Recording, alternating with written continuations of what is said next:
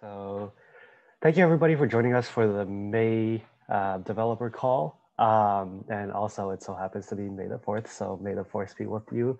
Um, just a quick reminder that um, this meeting will be recorded and uploaded to YouTube. So um, if you would not like to be recorded, uh, you can hop off now.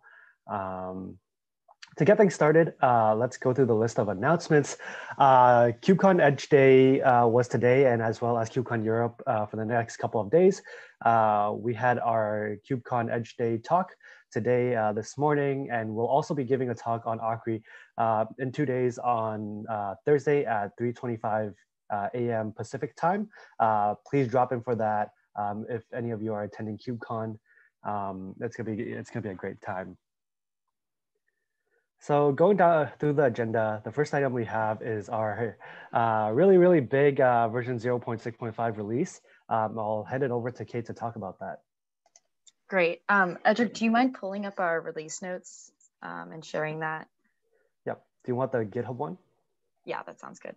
Um, and then just to follow up on the KubeCon events, um, I believe that those will all be posted to CNCF's YouTube channel on May 14th. So if you cannot attend, um, you should still be able to see our both our lightning talk from Edge Day and also our um, our main uh, conference session. Um, and that session does cover um, some one of our main new features that's in this release, and that is our new discovery handler um, extensibility model. We've talked about it in our past community meetings, but it's finally merged into main, um, and well, it's finally a part of our our release. And what this means is that you can now um, implement discovery handlers in any language. Um, they, it just has to implement our gRPC interface, which is um, described as a proto file.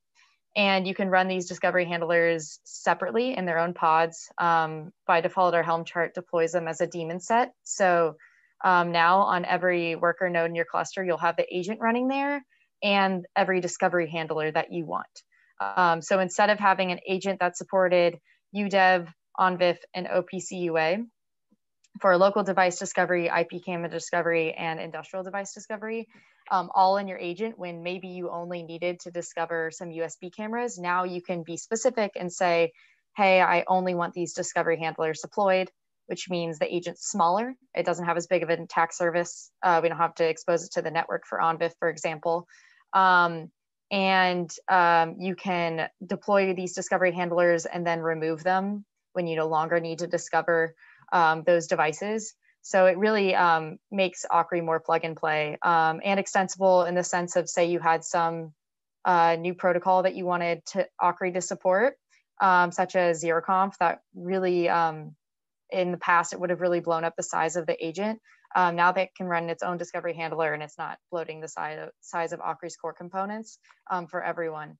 So, um, and a note on this is people who um, enjoyed the past experience of one agent instead of agent and discovery handler on each node, you can still use this old image that supports um, our current three discovery handlers, namely UDEV, ONVIF, and OPC by specifying agent um, full is true eh, when installing Akri. Um, and then also, uh, we've tried to make our make files fairly descriptive so that say um, you want to build an agent that only supports two of these discovery handlers and embed that, um, you can also do that with our make files and then deploy your own agent image using our Helm chart.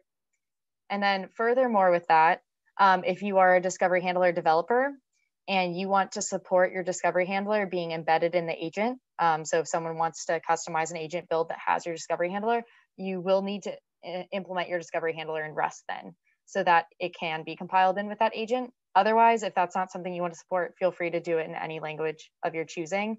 Um, that's just something to note. And the current way that um, we call those embedded discovery handlers, if they can optionally be added into the agent.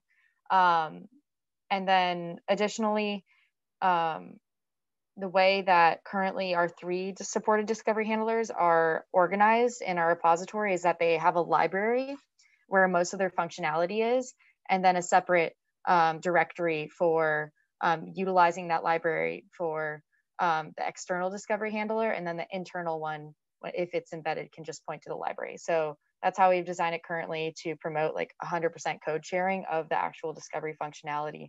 so something to keep in mind if you do want to implement a Rust discovery handler that can be embedded in the agent. Um, and of course, this is a really fast run through. We also have documentation on discovery handler development that is now um, a part of our docs. And um, there's also additional documentation on broker development, which we haven't had in the past. So um, that's also something to look at if you want. Remember, brokers are those workloads that utilize discovered devices. So we really, in this release, also released a lot of documentation. I'm gonna pause here before I keep going with all the other features of this release to see if anybody has any questions on all of that that I just um, spewed out.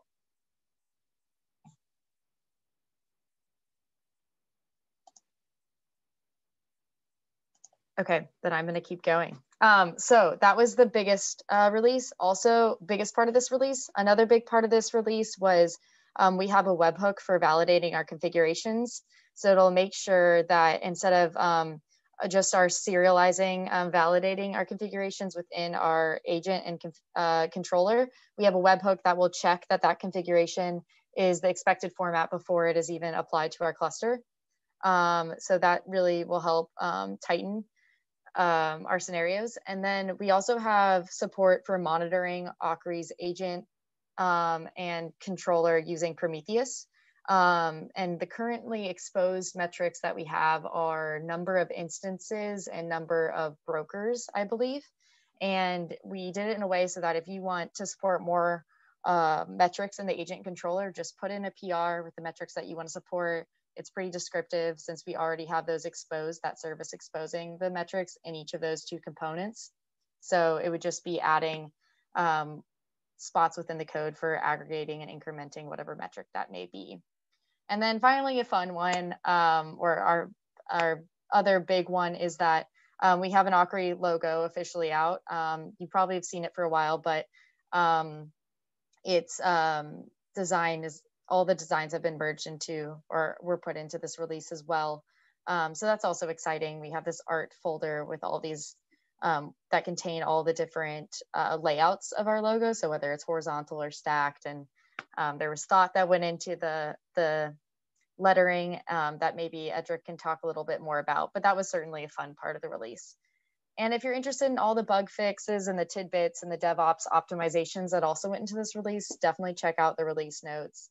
Um, and this also kind of gets to our next topic of this was a lot um, that went into one release and um, really is incentivizing a process that we should now proceed with where we can release more frequently.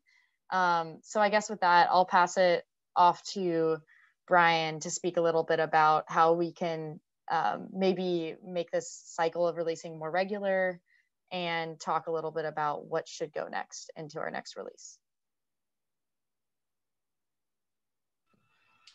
Thanks, Kate. Um, I think uh, for sure we want to have a more regular cadence of releases. Uh, I think we got uh, uh, a big, big chunk of functionality in there last time because that took a little bit of time. Our release was spaced out a little bit and ended up with a lot of features, a lot of stuff in it. Um, but I think uh, from a generally engineering perspective, you know, uh, a more frequent, smaller releases is, are better. Uh, maybe every month, sort of thing. I think is what we might ideally have. Um, but it gets to kind of questions about what people might like to see in a next release. Um, we've certainly got issues and things like that that we can just sort of work through a backlog uh, as we come to them, but that sort of neglects any any attempt at prioritization from I don't know a strategic point of view or a, a, a, other than somebody just picking up an issue and solving it sort of perspective. Someone going, "Ooh, that you know strikes my fancy." Uh, so we thought we'd open it up on some level in sort of a free form what are some things that people might find interesting? Uh, I know from my mind, I like the idea, you know, of getting this working on Windows or maybe some of the other uh, Kubernetes platforms out there, you know, taking a, another swing at getting it working on K0s or something like that. Uh, we certainly have ONVIF improvements that, that are needed. Um, you know, infrastructure can always get better. Uh, it's not necessarily uh, the most entertaining thing or like the thing that drives people, but it's certainly something that can keep people from contributing um, and making it making life harder. Uh, you know, there's always improvements to documentation or format, things like that. Um, and of course, the thing that'll really, I think, drive usage is how do we get more discovery handlers, uh, more brokers out there? Uh, so I don't know. Uh, does anyone have opinions as to what sounds like uh, a good direction or what might be a, a good thing to put into the next release?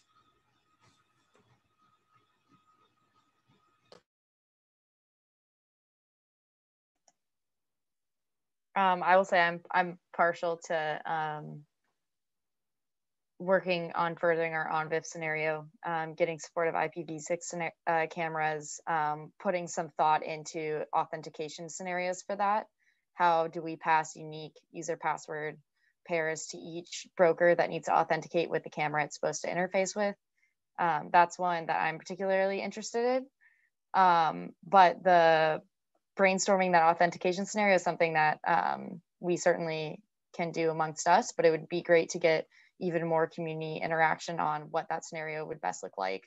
Um, are those credentials ever shared or do um, cameras have the same user password pairs or are they all unique?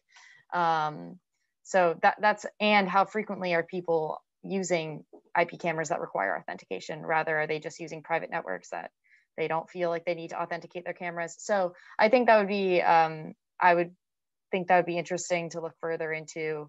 Um, I think adding support for more platforms like K0's kind, um, KubeEdge, I think would be cool to look at. Uh, it's not simple, uh, but that would also be cool. Um, so those are my first thoughts. Yeah, I think those are all good ones. Uh, as you were talking, I, I, thought about ONVIF's broker size too, uh, and wondering if there's a way to sort of manage that down. Um, I think I, if I can add something, um, if I remember, during uh, when I was writing my thesis, I was uh, making some end-to-end -end tests, and um, I thought that uh, maybe it would be useful to allow configuration on the, um, I don't know if it has, has been changed uh, uh, the last month, but uh, I don't think it's possible to configure uh, the period uh, of the uh, discovery handler. Is that right? for instance, then it's I think it's a specific interval, periodic interval at which the discovery and uh, tries to discover new devices. Is it configurable? And maybe uh, we should think about also a different strategy than just periodically checking if there are new devices. Uh, I got this issue because uh, um, I was testing how the, the system would work when uh, a device, the device goes offline. And I just noticed that it, I have just to wait until the next uh, period. I mean, and uh, that that, is not ideal. I mean, you have to decide uh, a value for the period, which is usually unknown for most of the systems because you cannot predict uh, how much uh, the best value. I mean, if it is too low, you uh, put pressure on the devices. For instance, on my on my uh, microcontroller, I had I started to notice um, buffer overflows uh, because the device received too many requests from all the different uh, uh, nodes on the cluster. Because since there is also uh, different uh, agent per node in the cluster, my device was receiving too many requests, uh, discovery requests. And I started also to experience race conditions despite uh, having the runtime written in Rust. and uh, so I noticed this uh, issue. And in general, I think we should start to think about um, the different strategy to discover devices. I mean, instead of just using a periodic timer. Yeah, um, I remember we talked a little bit about this. Uh, that makes sense that you can't determine an exact period uh, to check over and over again. So the decision of how long to wait in between checks or to even do a checking type of system is on the discovery handler. So I don't know with CoAP if you need to check or if the like what the best way to look would be mm-hmm. for that. Um, but that is on the discovery handler. So okay. that's not unique to Akri anymore. Um, for UDEV, ONVIF, and OPC UA, I believe it's a 10 minute, uh, a 10 second uh, loop um, because we took the previous model and put it in the current model. Um, but uh, for CoAP, I'm not sure what that would be. Um, yeah, I'm not sure. okay, so it, uh, it, I think it, uh, it's good that it's on the discovery handler to choose the best strategy based on the protocol. Yeah, because it's okay. um the agent will just call discover on the discovery handler, and then it's up to the discovery handler to periodically pass information back whenever it, it sees. It only will, or at least for um, our three current ones, they only update the agent when something changes. Okay, cool. Uh, on a similar note, is there anything that Akri could uh, uh, do to help uh, developers? I mean, in uh, the case the device goes offline and you must support availability. I mean, um, for instance, I was thinking about when a device goes offline, it is if it is temporary, uh, it could make sense to just uh, wait for it to go back. And in that case, the, there is the broker, in my case with CoAP, uh, who is able to use the cache and the data strategy but in other cases, if the uh, device goes offline permanently, it would make more sense to uh, provide a, a, different device without the, uh, the application, without this being noticed by the application. And I was wondering if uh, such support for availability uh, should be just uh, developed by the discovery handler or if there's anything that the Akri could help to, uh, I mean, with this issue. Yeah, um, I think that could be more configurable. Uh, right now, the way Akri handles that is since we have this um, binary of are you a shared device or a not shared device for mm-hmm. devices that are unshared, like local devices, if it goes offline, um, the, if the discovery handler says, hey, agent, this device no longer exists, the agent immediately deletes that instance, the controller will immediately remove the associated broker. However, if it's a shared device, so oftentimes network-based devices where intermittent connectivity is expected, um, gives it a five minute grace period. However, that's not configurable. And when I say Akri, okay. I mean the agent. So it's on the agent, not the discovery handler. Um, but I could see like what you're saying, that should be more specific. So maybe when you make your configuration, you say, oh, I expect the type of devices that are going to be discovered by this CoAP discovery handler to have intermittent connectivity, but not anything more than two minutes. And so it'd be great for you to be able to configure that. And then the agent would only delete the instance once uh, the discovery handler hasn't said that device is online again after two minutes. Okay. Is that kind of the scenario you were thinking or what? Yeah, I think that uh, surely helps. Uh, but I was thinking maybe we should open issue and discuss about it with more time.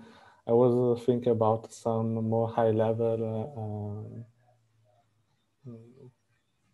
help from uh, Akri uh, to also provision a new, or at least find, uh, look for a new device while, while waiting for the old one to go back. Because you, in a real case scenario, I think you don't know if the device will ever go back and uh, that puts, uh, uh, I mean, in my opinion, a nice use case to think about about what is the best strategy to deal with such cases.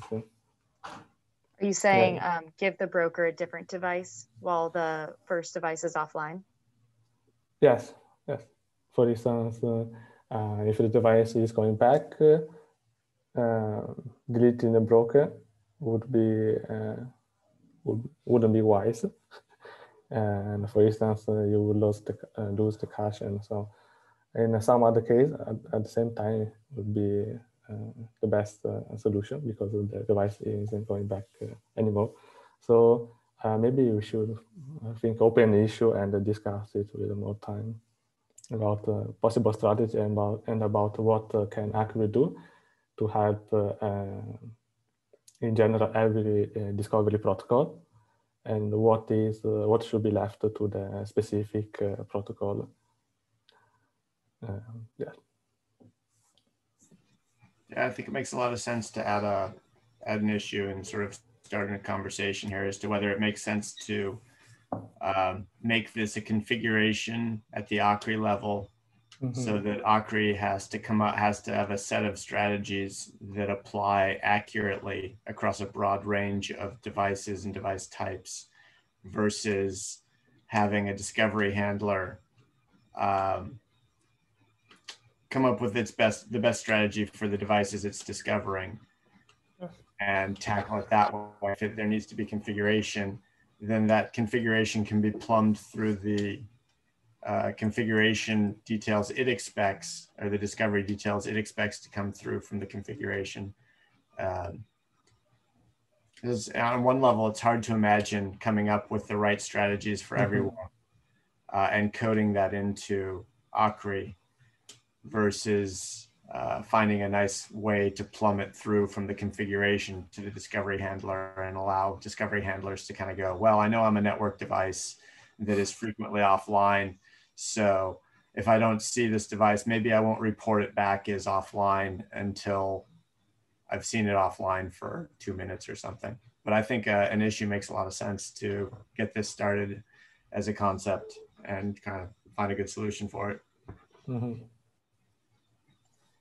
Giovanni, would you be interested in crafting up that issue um, since you've kind of laid out the thought process of it pretty well?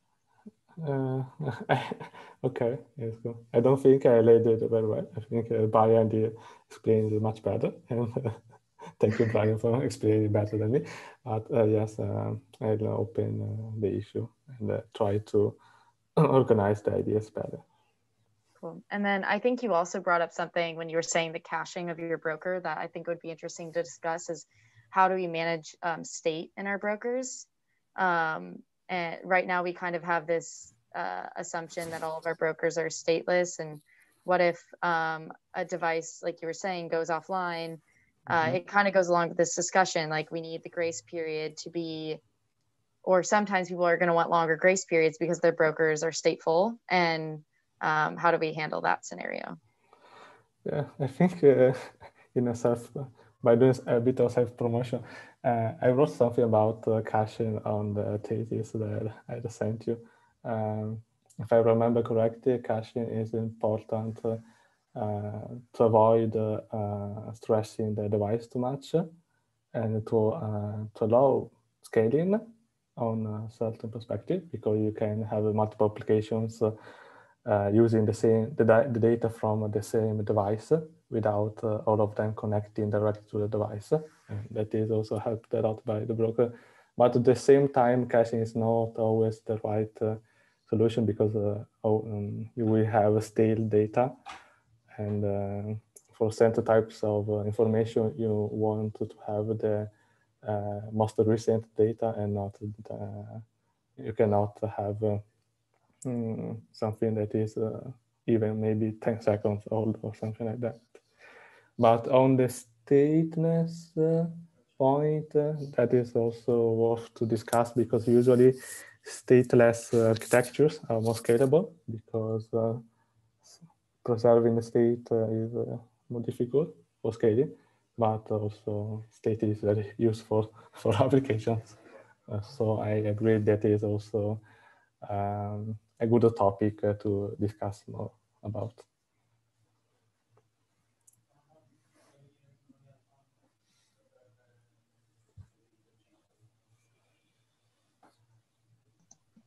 I guess to bring us back, so we obviously those are issues that we can think about solving too, and we need some input from the community on as well. But I think we should also go back to um, kind of the originator of this discussion is what what should we do next? We've talked about these mm-hmm. um, issues that uh, are happening, but um, if we say we want to have a release in a month, like what do we want to go into that release?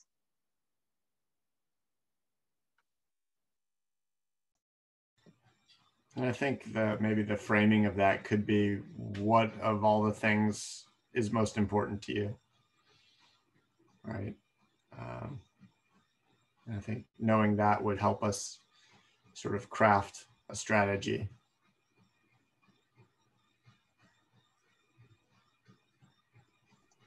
And I guess um, following up on that, is this something that maybe we come up with a list and then can put in the Slack afterwards and see what people want to thumbs up the most? Or um, how do we pull for what is important?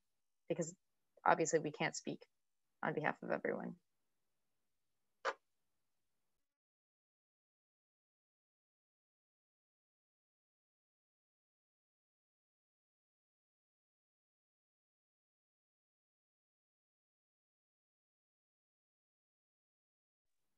Yeah, I think the Slack idea sounds great, Kate. Um,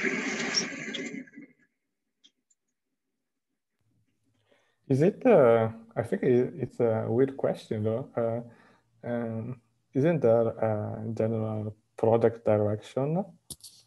Uh, mm, I mean, it's uh, uh, at least in my experience, a bit unusual to ask uh, the community to decide on it.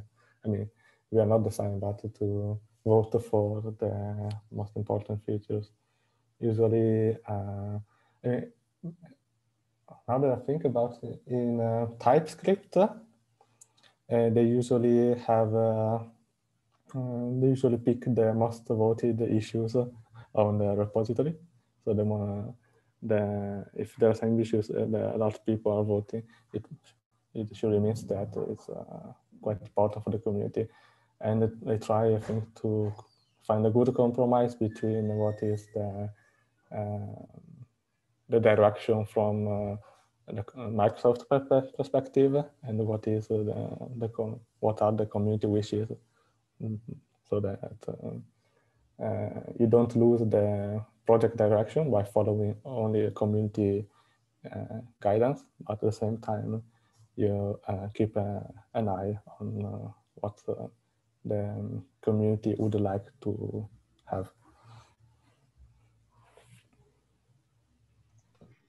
Yeah, I think I think you've you've nailed it there. Uh, I think that's certainly what we're keeping in mind as well. Uh, but we'd really like, you know, outside of having an established pattern of people voting on issues or anything like that, uh, you know, we're in early days, so we're trying to give as much opportunity to everyone who's here to to have that voice uh, in the meeting here. Um, you know, barring that, we certainly default to what we find to be interesting in the direction that we want, and uh, the issues on the list that like we look at and it uh, and we say, oh yeah, we need to fix those for sure. Uh, but uh, you know, I think we are certainly interested in amplifying the voice of the people that are interested now. So we appreciate your feedback, and that's we're really just kind of giving you the opportunity to be like, this is the thing that's really bugging me, and I'd love to see it fixed, and then we would certainly prioritize that. But barring that, we can certainly do the look at the the issues lists and you know organize that according to our vision for the product and come up with a, a set of manageable items for the next release.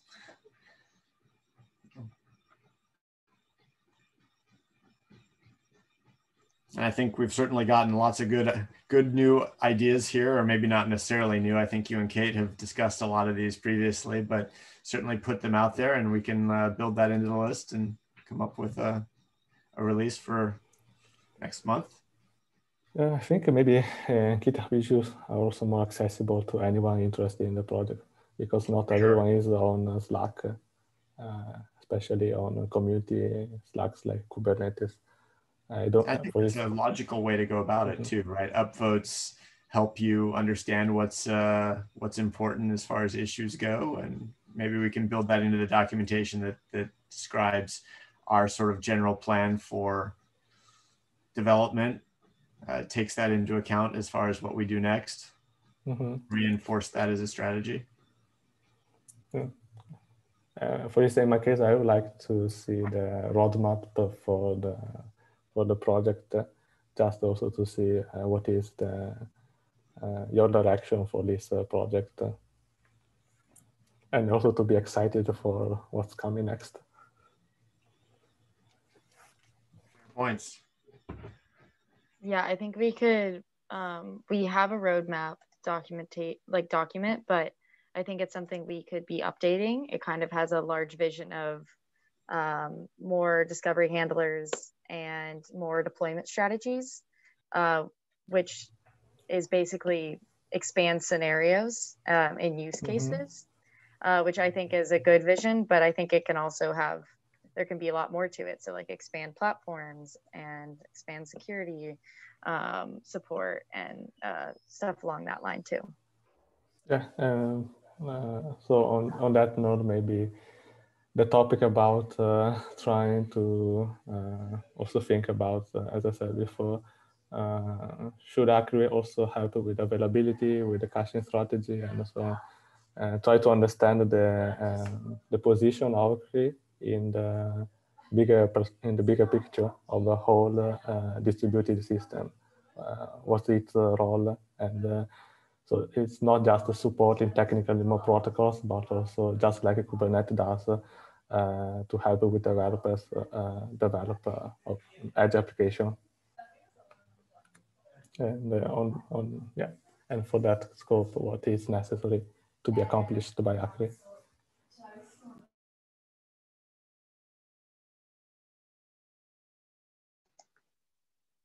Yeah, that makes sense. Um, we can definitely have some more vision there on what is Akri the part, like what whole is Akri a part of, and having some more scenarios fleshed out and in our documentation. Yeah, I would love to. Awesome. Well, I think we've uh, definitely discussed um, a lot of different options for um, next release cycle, and it sounds like some action items out of this are for those uh, options we talked about, like Akri and more platforms, create an issue for that. Um, better, more robust ONVIF support, create one issue for that since we have multiple. And um, uh, what we were talking about with um, Discovery Handler, um, I guess, how when it's going to decide a device is offline, um, kind of those kind of decision makings, that's another issue. Um, and if there, maybe after this, we'll put some up. And then if there are any missing, or I guess if anyone's watching this and comes up with uh, things they would like prioritize the next release, also create an issue for that. And we can choose one of those to tackle uh, one or more depending on the time we have.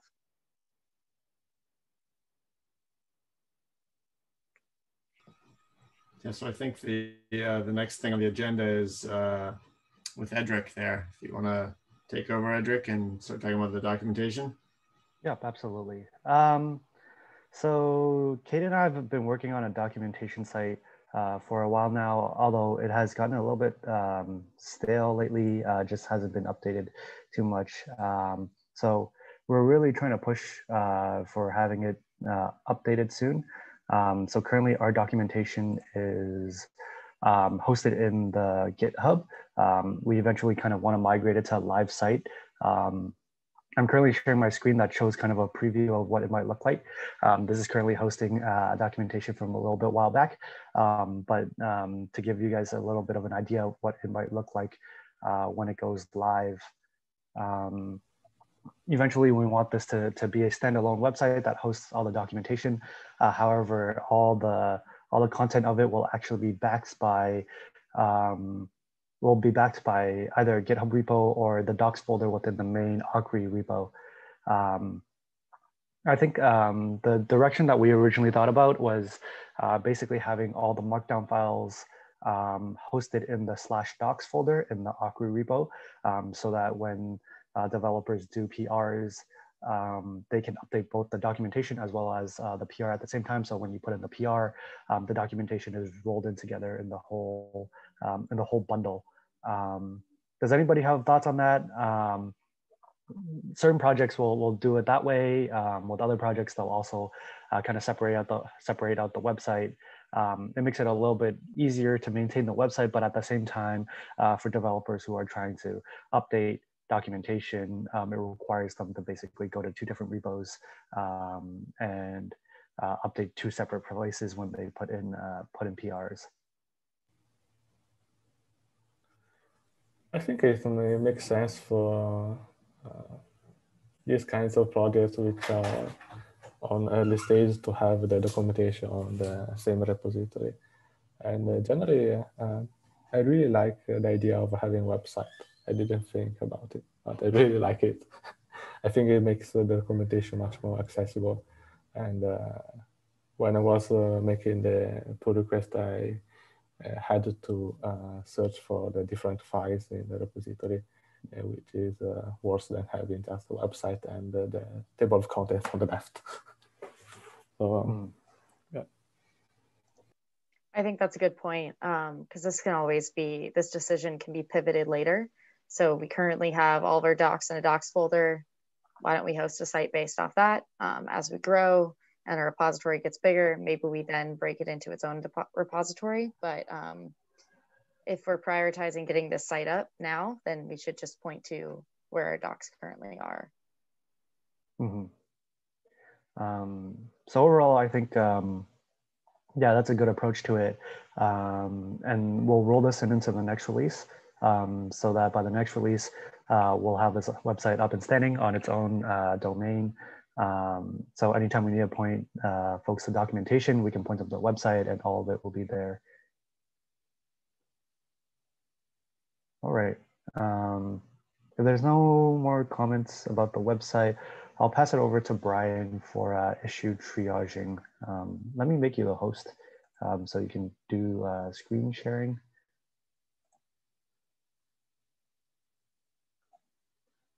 Make host. All right, let me just pull up the, uh, the issues here. Sorry.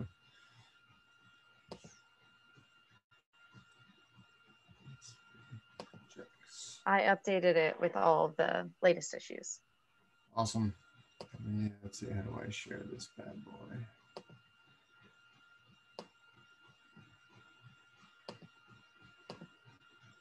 Um, Share screen that drag bright green guy there.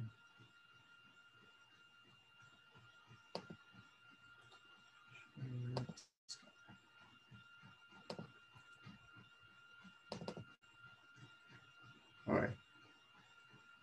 Everyone see? Anyone see? Okay, good.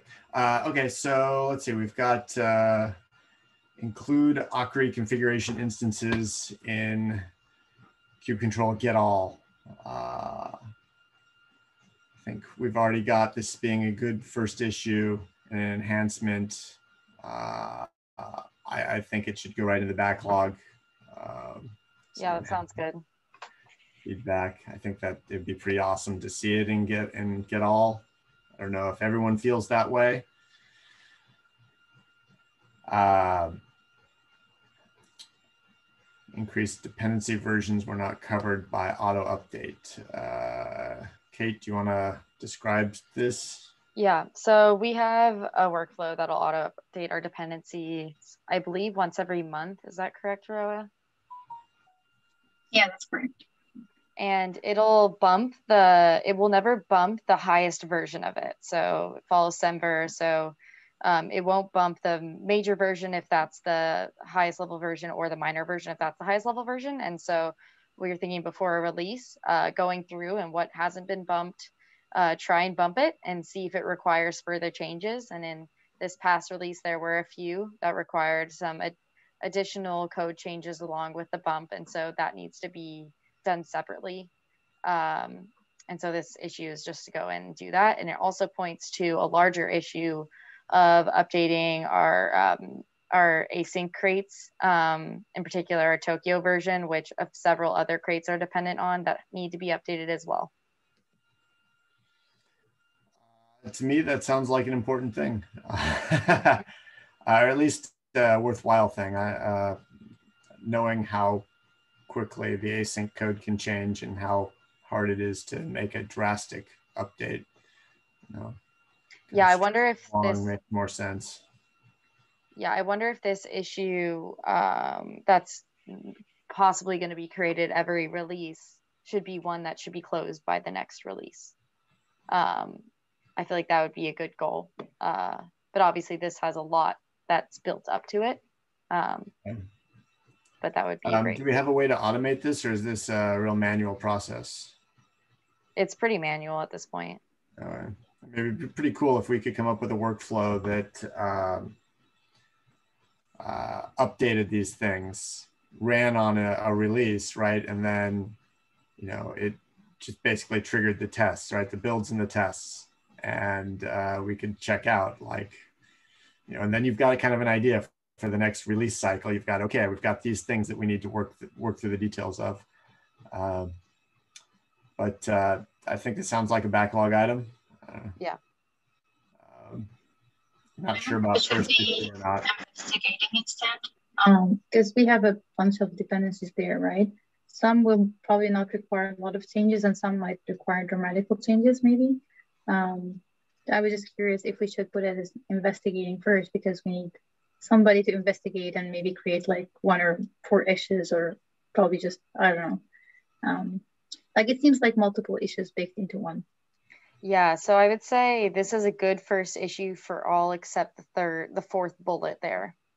Um, from my preliminary look at them, uh, the other ones require a few changes. I'm actually I have a PR in for the fifth bullet there. That was simple. Um, they actually could have just been bumped, but um, the fourth one has its own issue already created. Um, so I don't know. Does it become not a good first issue because the fourth bullet is not a good first issue? That's certainly what I was zeroing in on in my head. Uh, um, but uh, you know, I, maybe we break this out into um, an issue per. I mean, I I think there's two things here, right? There's these particular issues that we can work on, and then there's the concept of every release we should check and see are there like updates to updates to the latest version of anything. And if we just updated all of them would things work or would things break?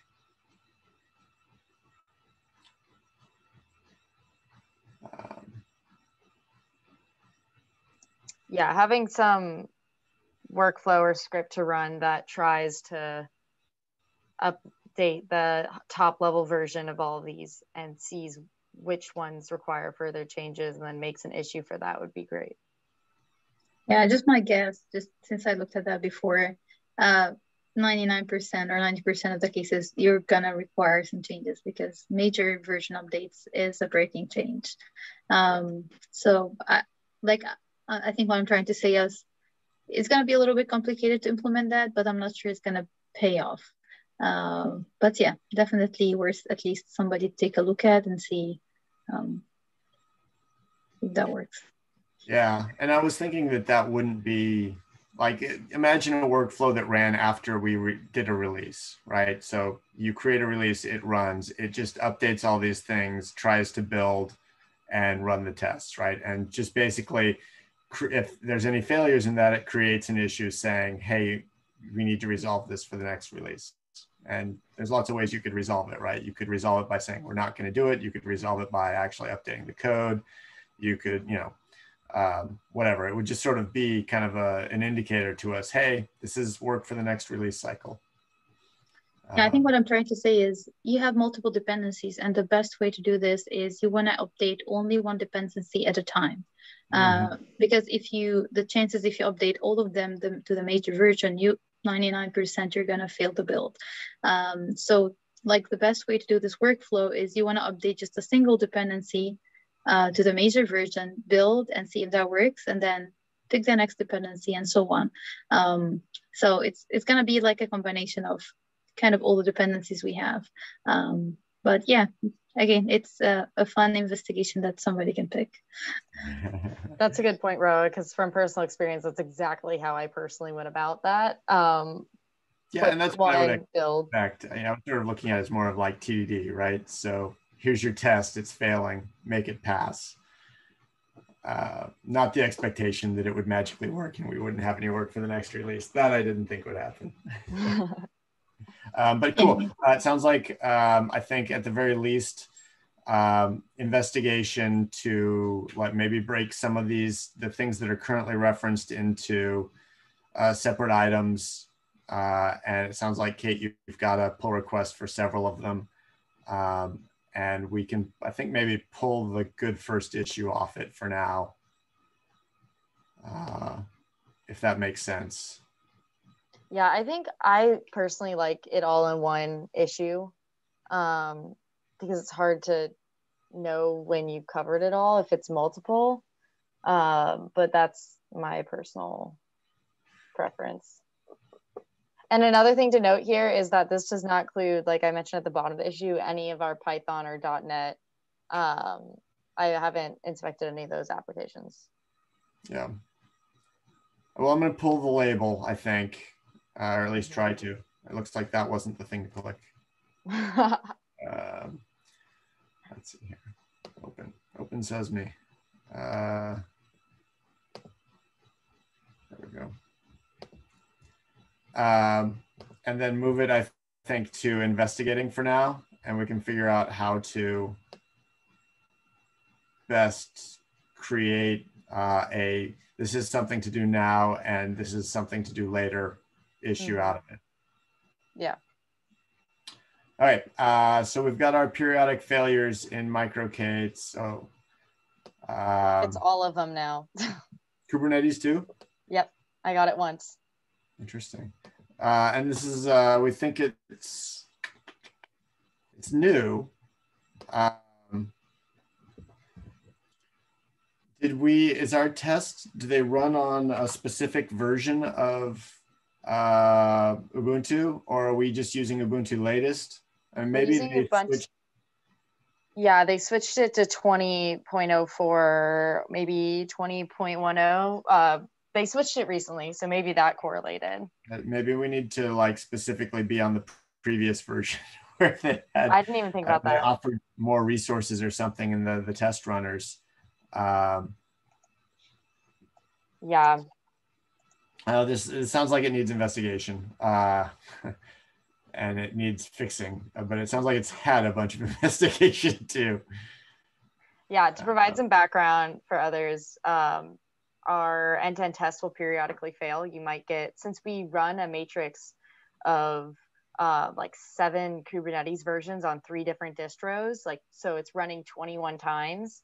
Sometimes that'll fail on one uh, one of those like distros um, and version combinations, which means your whole, all your tests go red because that one time the runner ran out of memory.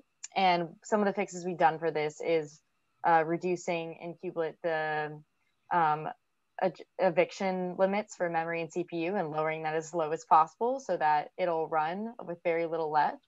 Um, but still sometimes it's occurring. So um, that can be time consuming because you can't just rerun that one. You have to rerun the whole what 40 minute to an hour long test. So this would be Just great. To, first. Yeah, this would be great to get get fixed.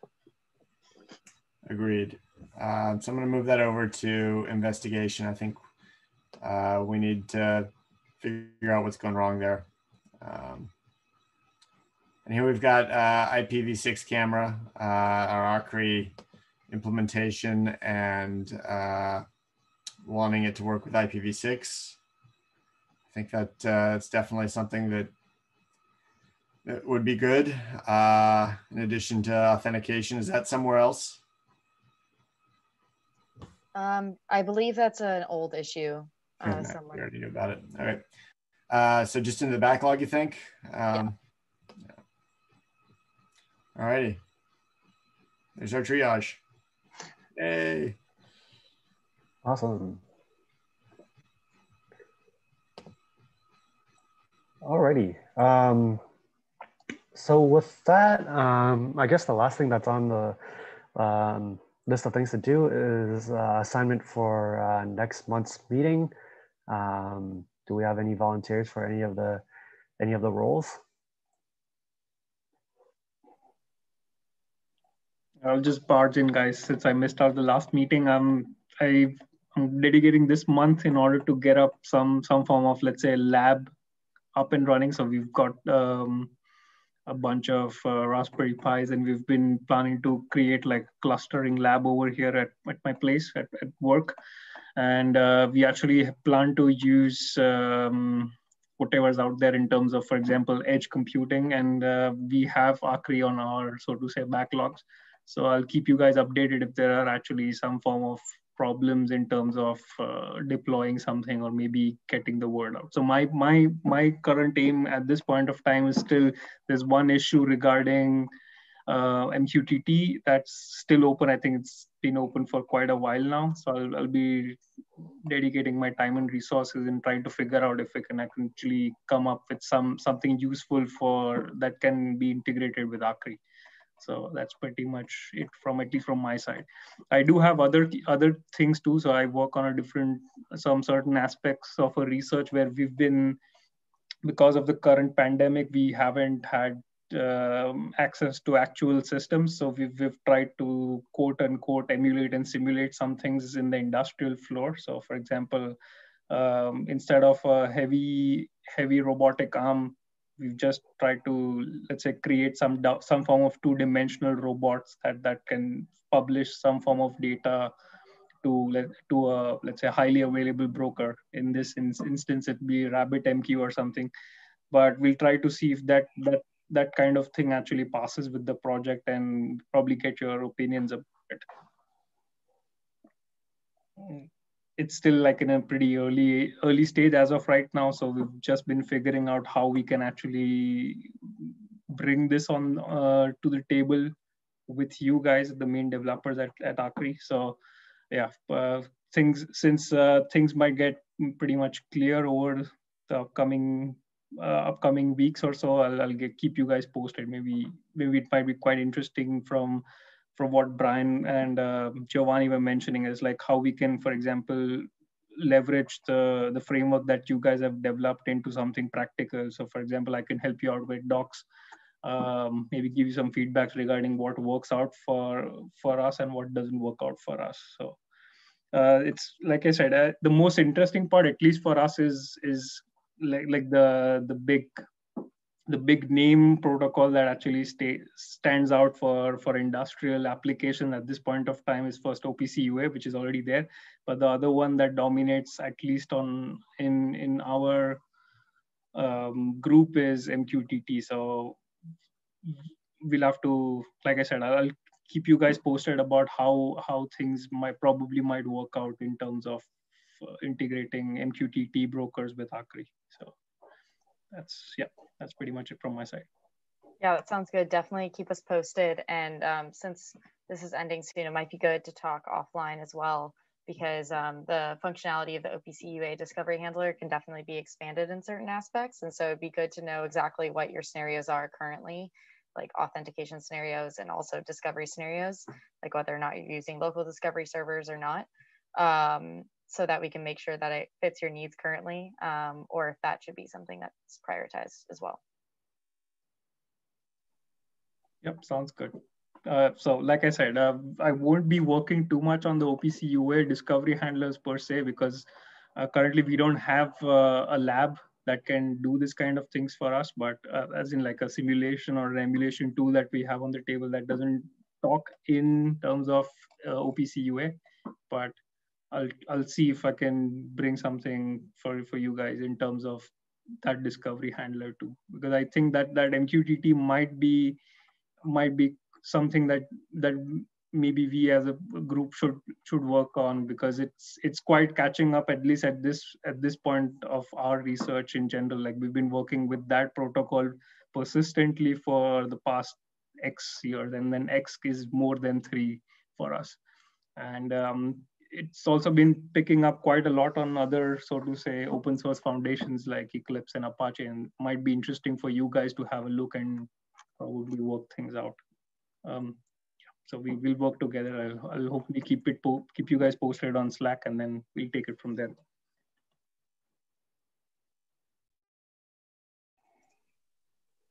Sounds good. Um, on the roles, um, I can do issue triage next time. You can put me there.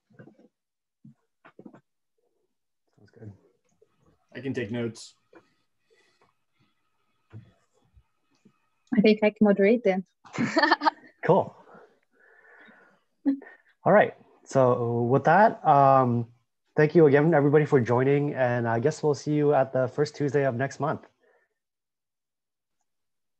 Bye, everyone. Bye-bye. Bye. Bye bye.